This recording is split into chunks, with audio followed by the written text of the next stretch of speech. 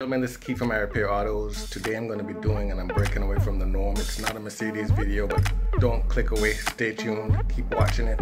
It's my daily commuter TDI Beetle. Yes, I drive a TDI. And I'm going to be doing the brake pad. They need to be done. They're way overdue. So to all my Volkswagen peeps out there, here is something for you. Hey, but before we get started, I know you've been meaning to subscribe. And by doing so, and sharing and thumbsing up the video, you push it up in the search engine's results for YouTube, which makes it easier to find for other Mercedes users, and they can benefit from it too. So do that now. Thanks. Don't forget to subscribe, ladies and gentlemen. Thanks. I'm going to start by pulling these off.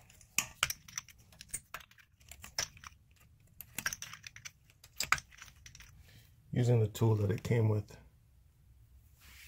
Before I jack the car up, I'm going to just loosen the lug nuts. Alright, the car is jacked up.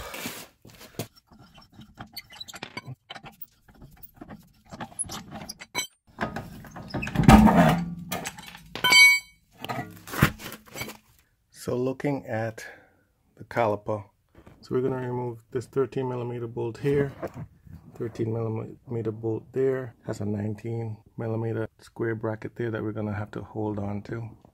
So let's get started by taking that off.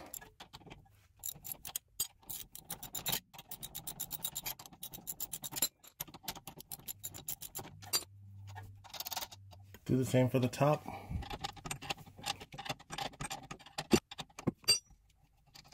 Next, we're going to take a flathead screwdriver, like so, put it in here, and uh, pry out the caliper.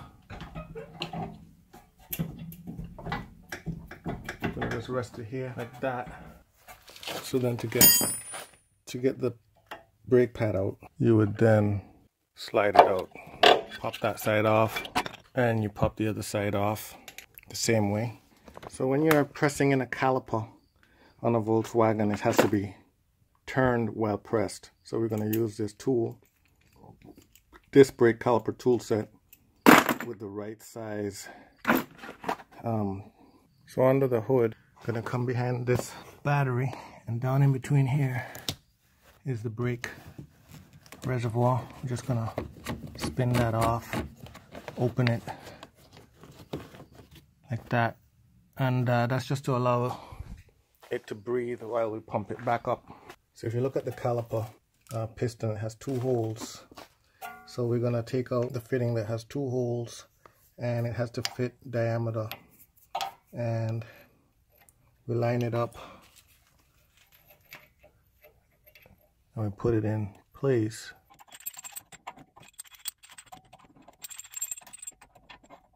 Okay, turns the piston as it presses it back in place and we want to do this slowly. Okay?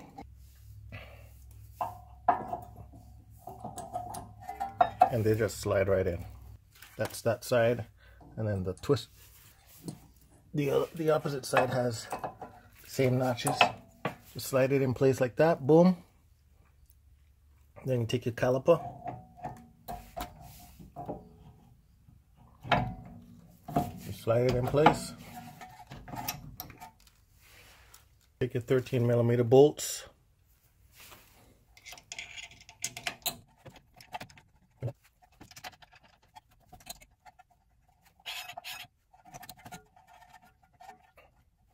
What's left to do is just tighten up those two bolts.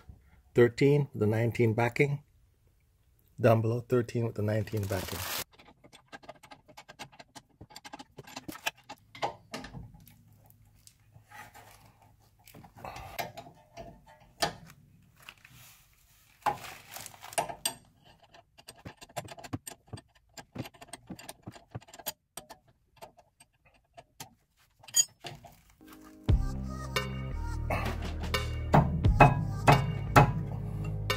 As always, everyone, don't forget to like, share, subscribe to my channel if you find these videos helpful.